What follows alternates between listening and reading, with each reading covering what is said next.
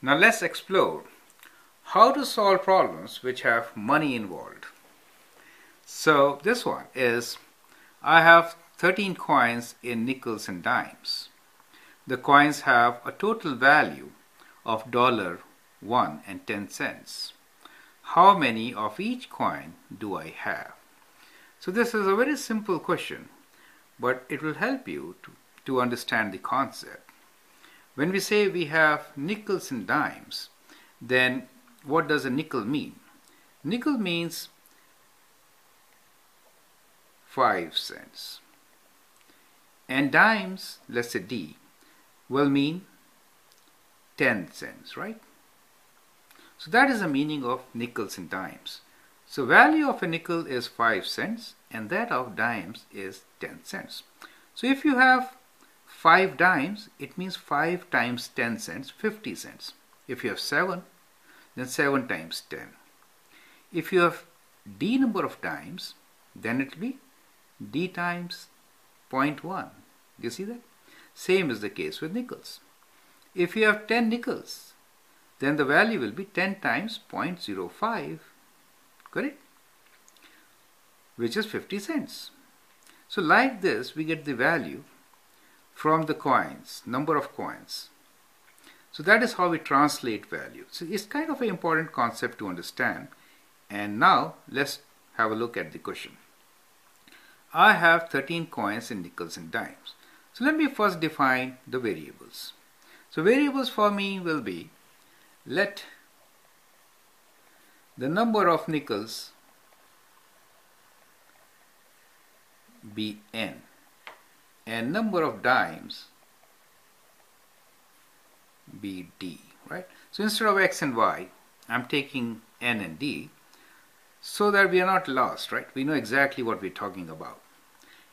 And the statement, which is the very first statement, is I have 13 coins in nickels and dimes. That means sum of n and d should be 13, right? So number of nickels plus number of dimes is 13. That's what it means. The second statement is the coins have a total value of $1.10. So that's the total value. How do you get value from the numbers? You get value from numbers when you multiply them with their respective value. Each nickel is worth 5 cents.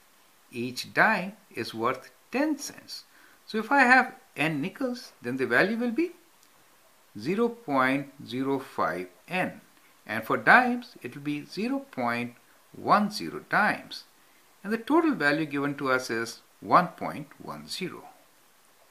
So that is how we get our second equation. Correct? It's kind of very important to understand this concept. Now we have two equations and two unknowns. The unknowns are number of nickels and dimes. And that is what we need to find. How many of each coin do I have? That is number of nickels and number of dimes. So let's solve. We can do substitution or elimination method. Here I will prefer to do elimination, right? So I'll show you how. The second statement or the equation in this case has a lot of decimals. So let's get rid of these decimals. So what we will do is we will multiply the second statement by 100. So if I multiply the second statement by 100, I get 5 nickels plus 10 dimes equals to 110. So in a way, I have written the equation in terms of cents, right? Now, this is my second equation. The first equation is nickels plus dimes is 13.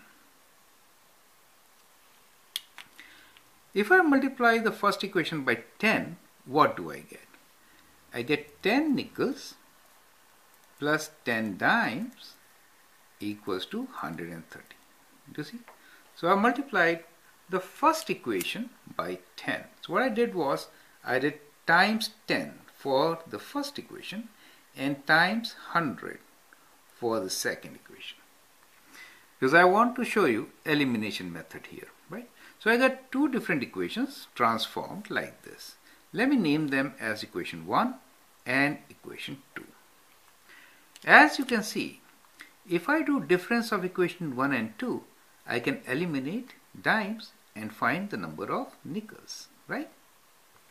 So the next step I will do is, I will do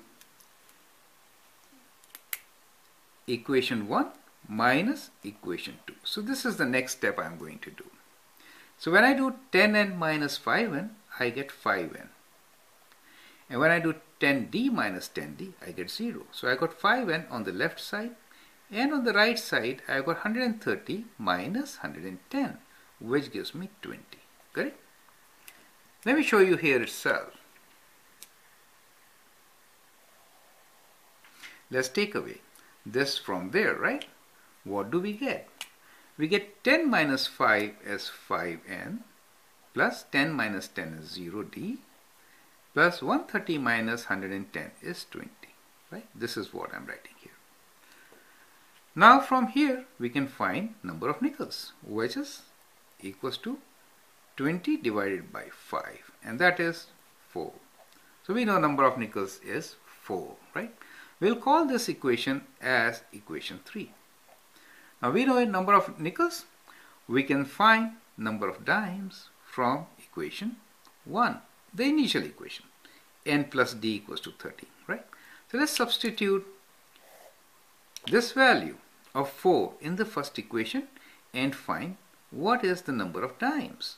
So we know n plus d is 13, n is 4, so I write 4 plus d equals to 13 or d is equals to 13 minus 4 that gives us 9 right?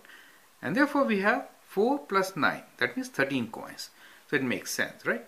Now we can write down our answer since we have already found the number of nickels and dimes how many coins do we have the answer is there are 4 nickels